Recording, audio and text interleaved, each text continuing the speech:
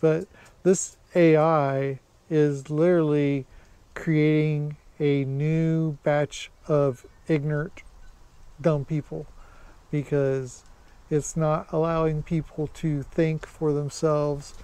And the the the new generation of children growing up in the school systems you know why do they even have to think about anything? Because all they can do is just ask ai ai is going to do it for them and so you literally you know the the the older class of people are the ones that are the educated ones.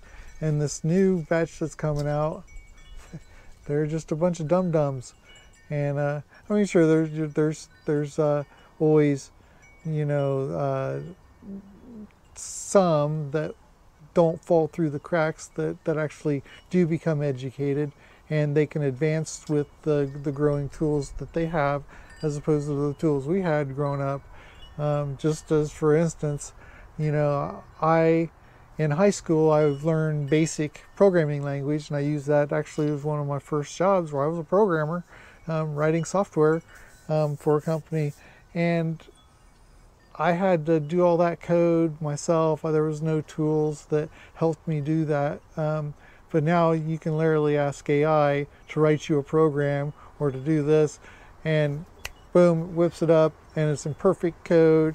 It details everything. It gives you, you know, comment sections of what each section does. It, it, it really does take the need for programmers out of the picture. Um, now you still need someone with the knowledge to be able to then be able to apply that application to something.